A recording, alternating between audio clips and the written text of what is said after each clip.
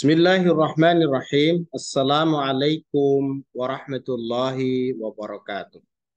Bismillah, alhamdulillah, la hawla wa la quwata illa billah. A'udhu billahi minasyaitonir rajim. Ya ayyuhalladzina amanu kutiba alaikumus siyam kama kutiba alal ladzina min qablikum la'allakum tattaqun.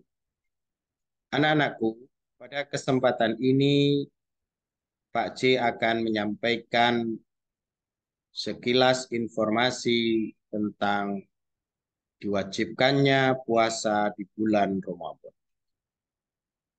Tadi sudah Pak C sampaikan tentang dalil atau kewajiban kita berpuasa. Dinyatakan di dalam Al-Quran itu, A'udhu billahi minasyaitonir rajim. Ya ayuhalladzina amanu kutiba alaikumusiyam. Kama kutiba alal ladzina min qablikum la'allakum tattaqun. Jadi di dalam surat Al-Baqarah ayat 183 ayatnya sangat jelas. Hai orang-orang yang beriman, diwajibkan atas kalian untuk berpuasa. Sebagaimana telah diwajibkan terhadap orang-orang sebelum kalian la'allakum tattaqu agar kamu sekalian bertakwa.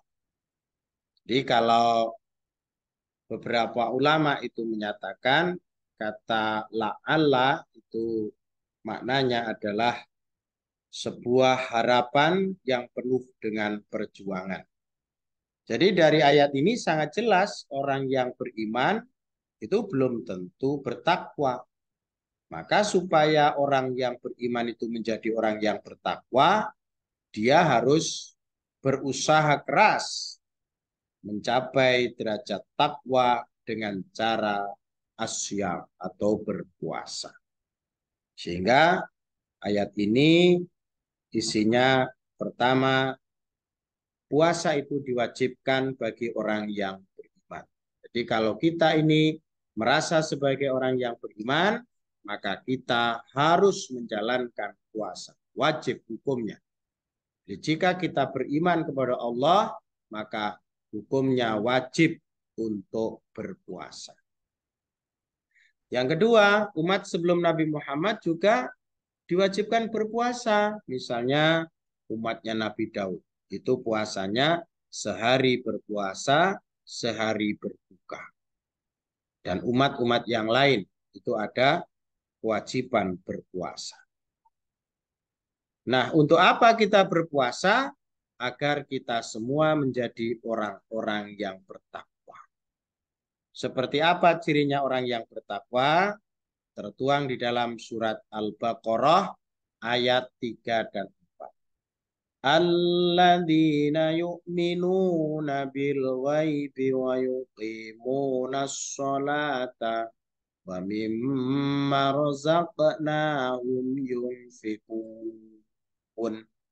walladzina yu'minuna bima unzila ilaika wa ma unzila min qablik wa bil akhirati hum yuqinun. Jadi kalau nanti setelah kita berpuasa atau dalam proses kita berpuasa, apakah keyakinan kita ini semakin mantap terhadap hal-hal yang goib. Jadi orang yang bertakwa itu beriman kepada yang goib. Yang goib itu apa? Allah itu goib, malaikat itu goib, surga dan neraka itu goib. Jadi orang yang beriman kepada hari akhir, beriman kepada Nabi Muhammad sekalipun bagi kita itu gaib. Kita belum pernah ketemu Nabi Muhammad. Maka jika kita yakin, kita percaya bahwa Nabi Muhammad itu ada. Sebagaimana di doa sholat tahajud itu ya. Bahwa Muhammad hak, surga itu hak, neraka itu hak, ya dan malaikat-malaikat Allah. Karena orang yang beriman kepada yang gaib itu berkonsekuensi. Nanti mesti akan mewujudkan satu perilaku yang baik. Apa di antara perilaku yang baik itu? Wa sholat. Yaitu mendirikan sholat. Jadi tentang sholat ini tidak mengerjakan tapi mendirikan. Maknanya adalah nilai-nilai sholat itu harus kita tegakkan. Jadi orang yang sholat itu sebagaimana di dalam surat Al-Ankabut itu dinyatakan akimis sholah inna sholata tanha anil fahsyai wal munkar.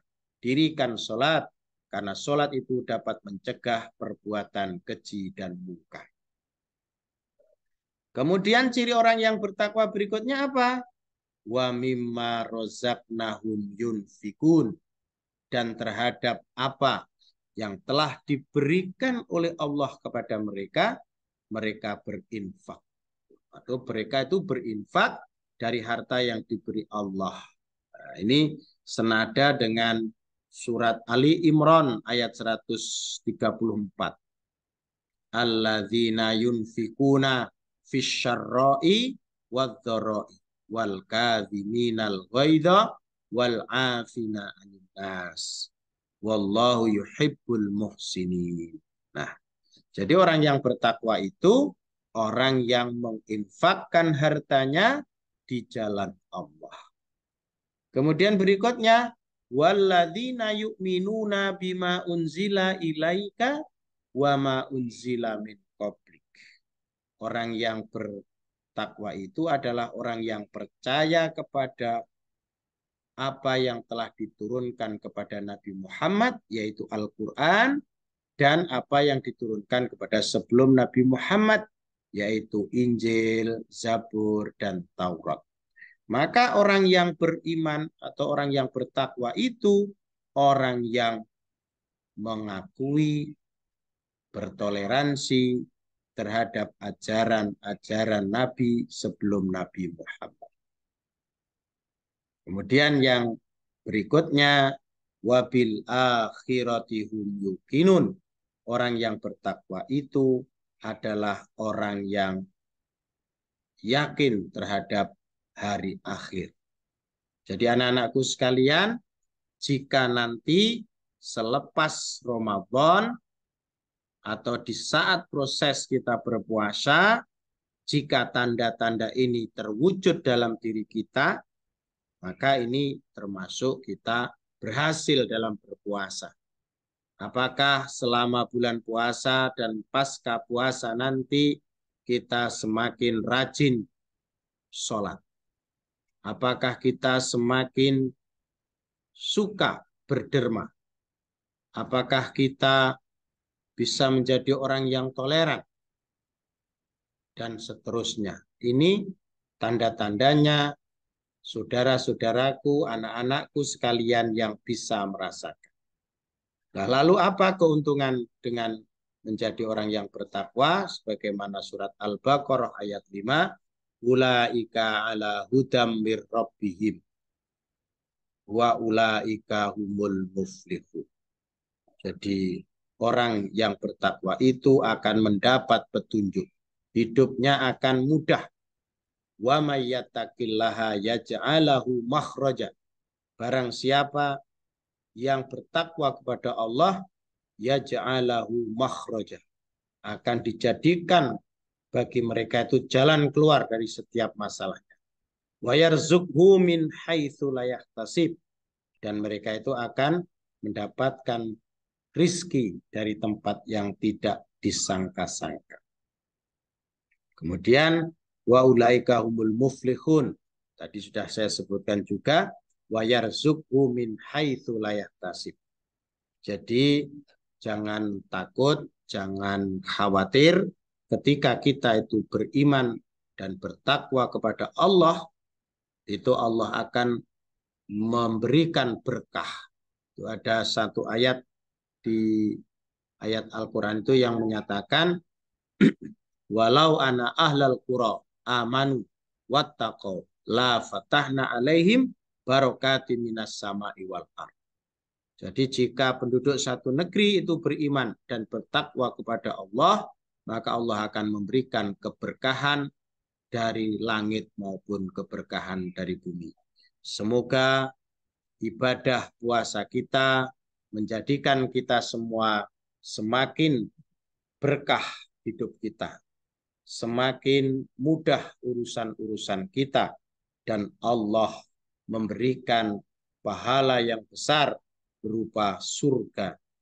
Semoga puasa kita diridhoi oleh Allah Subhanahu wa taala dan anak-anakku menjadi orang-orang yang senantiasa berguna dalam kehidupan berbangsa dan bernegara. Nasru minallah wa fathun qarib wa basyiril mu'minin wallahul muwafiq ila aqwamit thariq.